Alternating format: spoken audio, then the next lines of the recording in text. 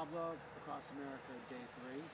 We are in the middle of nowhere in a town you've never heard of called White, Illinois. There's nothing here. We are so happy. Well, there's like a gas station and there's an amazing coffee shop we're going to tomorrow, but you'll see that tomorrow. Our afternoon dedication is to a very special little boy uh, that I was lucky enough to meet last year Yeah. at the beginning of our ride.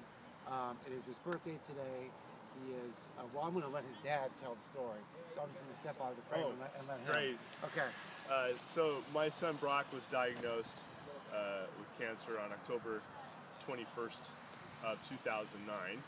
Uh, we founded Pablove Foundation that day. Uh, it's one of the reasons I'm out here is because of all the good work that we do. And today is my son's birthday. He has turned six, so happy birthday, Brock. I hope you had fun in kindergarten today. Uh, this is your first month in. Things are going well. I heard from Mrs. Kirkmeyer. I heard you didn't get any yellow cards. That's good. And I hope your cookies went great. And uh, your dad loves you very much. You are my best friend.